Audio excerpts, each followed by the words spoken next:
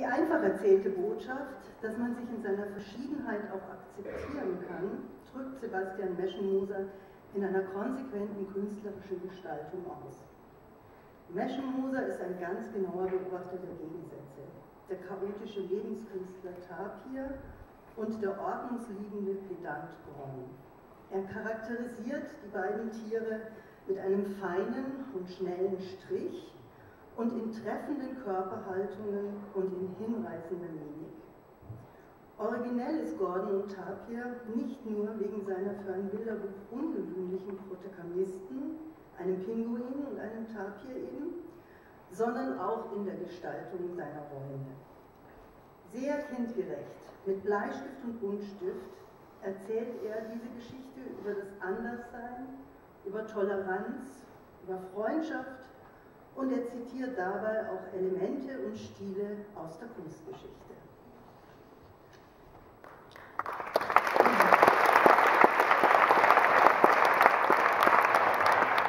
Simon Bouleris und Gérard Dubois, Ein Apfelbaum im Bauch. Das Buch erzählt eine absurde Geschichte, die der kindlichen Vorstellungswelt entstammt. Wer hat sich eigentlich noch nicht gefragt, was mit all diesen verschluckten Apfelkernen eigentlich passiert? Bis zum Ende hin folgt dieses Gedankenspiel konsequent der Logik eines Kindes und wird nicht zugunsten einer tröstlichen Lösung am Schluss verraten. Aber es wird nicht nur mit der Fantasie gespielt, sondern auch mit historischen Darstellungsformen. Im Retro-Design, das auf Kinderbücher vom Anfang des 20. Jahrhunderts zurückgreift, entwickelt es für die kleinen Betrachter eine neue Bildsprache, die dennoch modern wirkt, weil sich objektive und subjektive Bildebenen vermischen. So verlassen die Illustrationen die Ebene des Darstellerischen und sie geben Auskunft über Seelenzustände. Das Gesicht des Jungen wird zum Wurzelstock, die Haare zu einem Gewirr aus Ästen und Zweigen. Nicht zuletzt aufgrund dieser Bilderfindungen ist ein Apfelbaum im Bauch ein ungewöhnliches und zugleich aber auch ein sehr witziges Bilderbuch.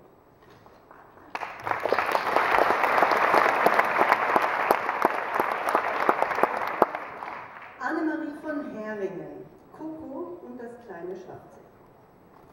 Zerbrechlich wie eine Eierschale ist die kleine Coco und filigran mit zarten Strichen sind auch die Illustrationen, mit denen die Geschichte der Modeschöpferin Coco Chanel erzählt wird. In überaus pointierten Bildern, die sich an den grafischen Stil von Modezeichnungen anlehnen, spielt Annemarie von Heringen vor allem mit Formen und mit Perspektiven. Inhaltlich beschränkt sich das Buch aber nicht auf den biografischen Aspekt, sondern es gibt das Beispiel eines unkonventionellen Mädchens, das überkommene Traditionen überwindet und durch die Mode eine emanzipatorische Kraft entfaltet. Sprachlich überzeugt dieses ausgefallene Bilderbuch mit seiner lebendigen und oft wörtlichen Erzählweise.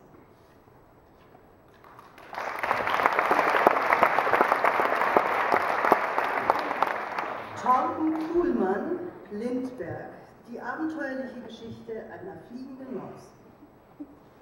Lindberg ist keine der niedlichen, süßen Bilderbuchmäuse, die wir alle kennen. Nein, Lindberg ist schlau, mutig und vor allem ist er sehr emsig. Durch nichts lässt er sich von seinem Vorhaben abbringen, den Atlantik mit einer Flugmaschine zu überqueren. Torben Kuhlmann öffnet mit diesem Bilderbuch den Raum für ganz viele Themen. Die Auswanderung nach Amerika, den Traum vom Fliegen, die Faszination der Technik und nicht zuletzt die Beharrlichkeit, sich nicht unterkriegen zu lassen. Dabei belässt Kuhlmann seine Geschichte nicht im luftleeren Raum, sondern er verortet sie in Hamburg Anfang des 20. Jahrhunderts. Ein ganz großer Reiz dieses Buches geht von dieser Authentizität aus, den realistischen Selbststadtdarstellungen und der Patina der Illustrationen.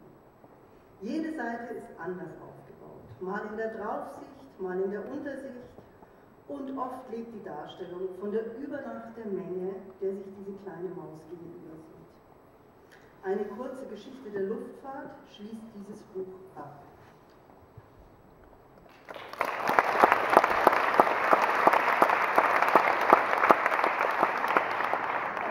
David Wiesner, Herr Schnuffel. Allein die Illustrationen, Illustrationen erzählen die schräge Geschichte vom Raumschiff mit den kleinen grünen Männchen, das mitten im Wohnzimmer landet und die Ruhe des Katers Herr Schnuffels stört. Ein Science-Fiction in Bilderform, der augenzwinkernd mit diesem Genre spielt.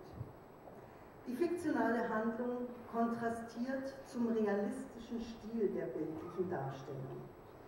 Alles ergibt einen Sinn und alles ist auch durchdacht. Von der Geheimsprache, in der sich die Außerirdischen unterhalten, bis hin zu den Bezügen in der Kunstgeschichte wie der Hieroglyphenschrift und der Höhlenmalerei. Durch seine konsequente Aufteilung in Panels ist das Bilderbuch ein Vorläufer für Graphic Novels. Es führt auch schon Kinder im Vorschulalter an die Rezeption dieser grafischen Art des Erzählens heran.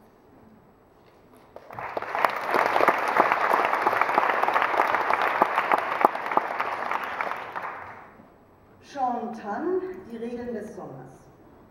Die Regeln des Sommers sind nicht von Erwachsenen gemacht. Sie entstammen einer kindlichen Wahrnehmung und bleiben in ihrer, in ihrer Logik rätselhaft. Sie ordnen eine vertrackte Kinderwelt, die belebt wird von fantastischen Roboterwesen und Maschinentieren.